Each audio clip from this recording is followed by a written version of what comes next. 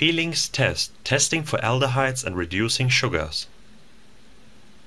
Attention! Copper sulfate can cause severe irritation of the skin and eyes. It is very toxic to aquatic life and may cause long-term adverse effects in the aquatic environment. Sodium hydroxide can cause severe chemical burns. I don't take any responsibility for damage done to persons or property caused by the recreation of this experiment.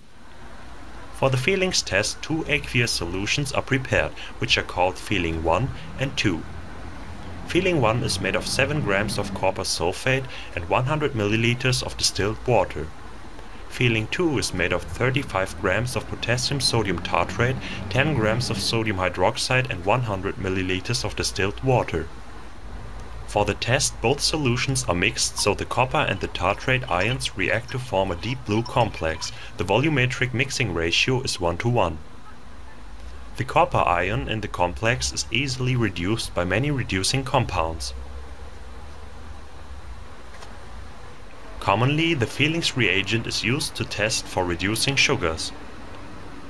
For this the reactions of glucose and sucrose with the Fehling's reagent are compared. Three test tubes are used. To the first one some glucose is added. Sugars are also called saccharides. Glucose is a monosaccharide or single sugar. To the other two test tubes sucrose is added which is also known as household sugar. This is a disaccharide or double sugar. It is made of glucose and fructose which are connected by a glycosidic bond. To the third test tube a small amount of citric acid is also added.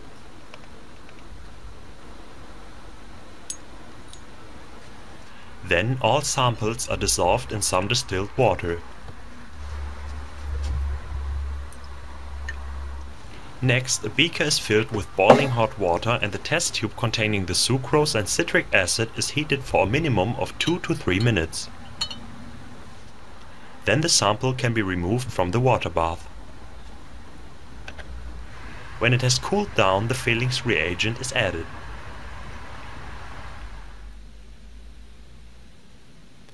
Now all the samples are heated in a beaker with hot water.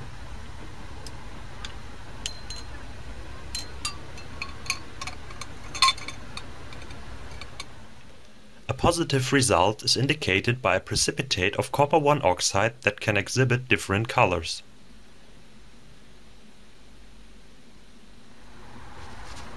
At the end all samples can be removed from the water bath.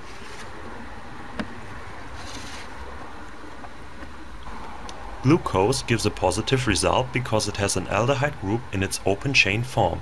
That's why this reaction can also be used to test for aldehydes. The sucrose didn't react because the ring of the glucose cannot open due to the glycosidic bond, so it's not a reducing sugar and the result is negative.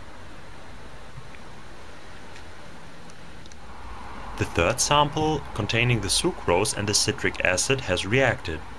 This is due to the glycosidic bond because it can be splitted in acidic conditions. This way all disaccharides can be splitted into the monosaccharides. The monosaccharides then give a positive result.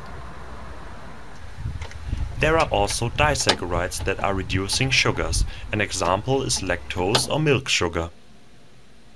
Here the ring of the glucose is able to open even though a glycosidic bond is present, so an aldehyde group is provided. In the Fehling's test the following reactions take place. The copper ions are reduced from the oxidation state of plus 2 down to plus 1, which causes copper 1 oxide to form and precipitate out. As an example an aldehyde is used, which is oxidized to a carbonic acid in the reaction. This is deprotonated due to the basic conditions. This was the Fehling's test for reducing sugars and aldehydes. I hope you enjoyed. Please rate and comment.